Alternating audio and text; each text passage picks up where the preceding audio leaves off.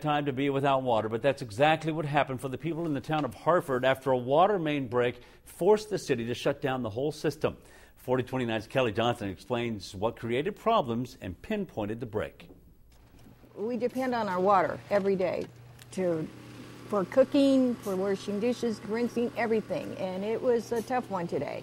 Rosemary Silva works for the Hartford Senior Center. She says today's water main break had everyone making adjustments. And we did as much as we could as long as we had the water running, but then once that water was out, you can't do your dishes because you have no water. You can't get in the bathtub. You can't wash clothes.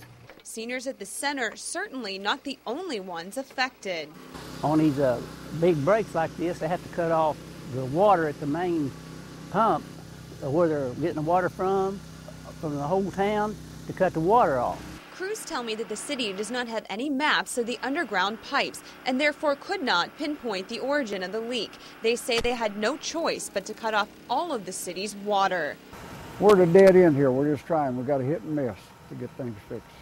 This isn't the first time a water main break that has caused the whole city's water supply to be shut off has happened here. Residents tell me they want something done.